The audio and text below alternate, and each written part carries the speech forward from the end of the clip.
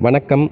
வாழ்க வளமுடன். உங்களுடன் இணைவது சோகிருஷ்ணன் சொக்கலிங்கம். லக் என்ற தலைப்பில் ஒரு கதை எழுந்திருக்கீங்க தம்பி. நான் உண்மையிலேயே இந்த கதையை ஆர்வப்பட்டு படிக்க கிடையாது.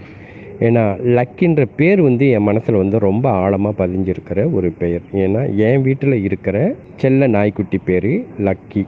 அவனும் ரொம்ப சுட்டியாக இருப்பான். அந்த லக்கின்ற பெயருக்காகவே இப்போ நான் அந்த கதையை வந்து முழுவதும் ஒரே நாளில் படித்து முடித்தேன் ஒரு நாற்பத்தைந்து நிமிடத்தில் படித்து முடிச்சிட்டேன். நான் வேலை இடத்துல வேலை செஞ்சுக்கிட்டே படித்தேன் ரொம்ப அருமையாக நகைச்சுவை துணுக்குகள்லாம் சேர்த்து அது மட்டும் இல்லாமல் ஒரு கம்பீரமான தோற்றம் அந்த லக்கிக்கு நீங்கள் கொடுத்துருக்கீங்க. ரொம்ப சிறப்பாக இருக்குது ஐயா. ரொம்ப மகிழ்ச்சி. நல்ல ஒரு சிந்தனை நல்ல ஒரு உங்களுக்கு லக்கிக்கு ஒரு தோழி அவருக்கு ஒரு நண்பர்கள் அதில் ஒரு நண்பர் நகைச்சுவை நண்பர் இன்னொரு நண்பர் வந்து கொஞ்சம் கரடு முரடான நண்பர். இப்படியெல்லாம் கொடுத்து இந்த கதையின் உயிரோட்டத்தோடு நீங்கள் கொண்டுட்டு போன விதம் எனக்கு ரொம்ப பிடிச்சிருக்கு.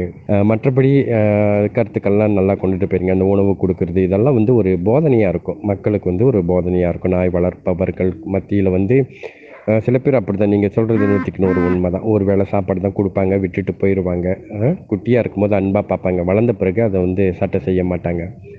இதெல்லாம் நல்ல உண்மைகளெல்லாம் நீங்கள் பதிச்சு வச்சுருக்கீங்க. மிக்க மகிழ்ச்சி தம்பி மிக்க மகிழ்ச்சி. வாழ்க வளமுடன். தொடரட்டும் ஐயா உங்களுடைய இந்த எழுத்து சேவை. வாழ்க வாழ்க வாழ்க.